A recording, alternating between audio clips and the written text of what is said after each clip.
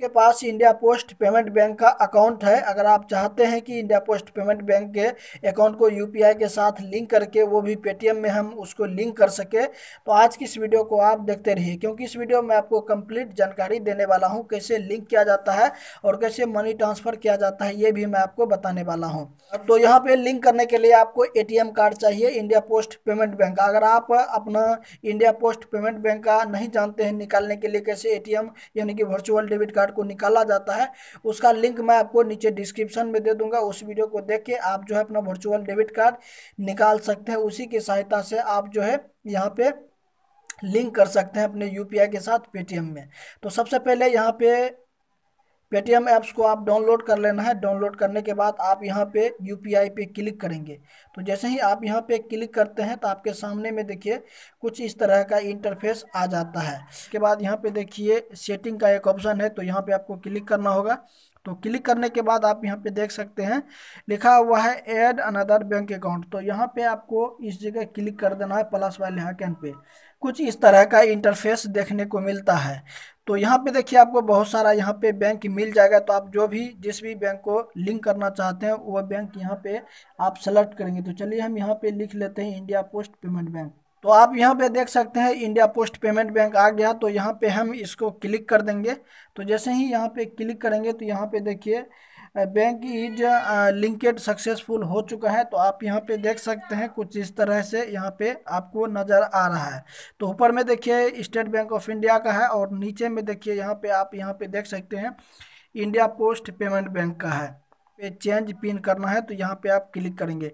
तो चलिए हम यहाँ पे चेंज पिन कर लेते हैं, उसके बाद यहाँ पे आपको जो है, अब यहाँ पे देखिए लास्ट छः अंक आपको एटीएम वर्चुअल डेबिट कार्ड का यहाँ पे आपको इंटर करना पड़ेगा। बाद एक्सपायरी और वैलिडिटी यहाँ पे आपको डालना है उसके बाद ये डालने के बाद आप यहाँ पे प्रोसीड पे क्लिक कर देंगे। उसके बाद यहाँ पे आपके रजिस्टर्ड मोबाइल नंबर पे एक ओटीपी आएगा। उस ओटीपी को यहाँ पे इंटर कर देना है। तो ओटीपी को इंटर करने के बाद जो भी आप पिन सेट करना चाहते हैं, वो आप यहाँ पे इंटर करेंगे। तो चलिए हम यहाँ पे इंटर कर देते हैं। उसके बाद राइट वाले निशान पे आप क्लिक कर देंगे।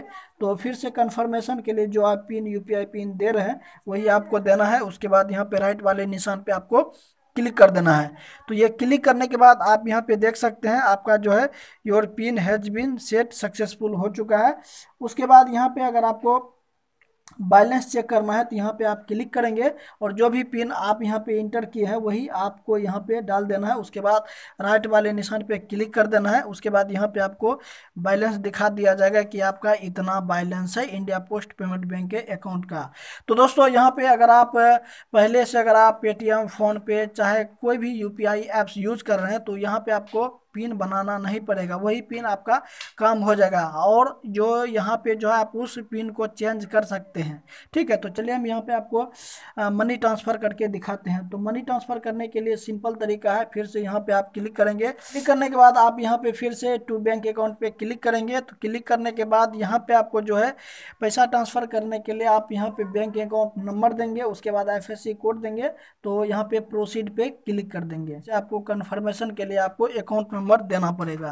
उसके बाद आप कन्फर्म पे क्लिक कर देंगे तो चलिए हम यहाँ पे कन्फर्म पे क्लिक कर देते हैं उसके बाद आप यहाँ पे कितना अमाउंट ट्रांसफ़र करना चाहते हैं वो आप यहाँ पे देंगे उसके बाद यहाँ पे देखिए सबसे अहम जो बात है तो यहाँ पे मेरा दो अकाउंट लिंक है तो यहाँ पे इस जगह अगर आप क्लिक करेंगे तो आप कौन से अकाउंट से पैसा कटाना चाहते हैं वो आप यहाँ पे सेलेक्ट कर लेंगे तो जैसे कि अभी हम स्टेट बैंक से नहीं भेजना चाहते हैं इसमें पेमेंट बैलेंस नहीं है तो यहाँ पे हम इंडिया पोस्ट पेमेंट बैंक से भेजना चाहते हैं तो यहाँ पे हम क्लिक कर देंगे तो क्लिक करने के बाद यहाँ पे देखिए इंडिया पोस्ट पेमेंट बैंक आ गया। उसके बाद फिर से अगर आपको चेंज करना है, करना चाहते हैं, जो भी आप बैंक अकाउंट लिंक करके रखें, वो यहाँ पे आ जाएगा। तो चलिए, हम इंडिया पोस्ट पेमेंट बैंक पे क्लिक कर देंगे। अगर आपका और भी कोई बैंक है तो यहाँ पे शो हो जाएगा। उसके बाद यहाँ पे पे पे क्लिक कर देंगे। तो पे पे क्लिक करने के बाद यहाँ पे फिर से हम यूपीआई पिन यहाँ पे इंटर कर लेंगे। उसके बाद राइट वाले निशान पे क्लिक कर देंगे। तो क्लिक करने के बाद आप यहाँ पे देख सकते हैं कि मेरा जो है सक्सेसफुल पेमेंट हो गया है। तो आप इसी तरीके से जो है मनी ट्रांसफ़र कर सकते हैं और इंडिया पोस्ट पेमेंट बैंक के अकाउंट को भी यूपीआई के साथ लिंक करके पेटीएम में आप किसी को भी मनी ट्रांसफ़र कर सकते हैं। देखिए मैसेज भी आ गया। अगर ये वीडियो आपको पसंद आए तो लाइक शेयर कमेंट ज़रूर कर सकते हैं। अगर इस चैनल पर आप नए हैं तो सब्सक्राइब कर दें और बगल में जो बेल आइकन है उसे भी आप दबा दें ताकि आपको लेटेस्ट वीडियो का नोटिफिकेशन सबसे पहले आपको मिलता रहेगा। तो यहाँ पे आप शेयर भी कर सकते हैं किसी को भी।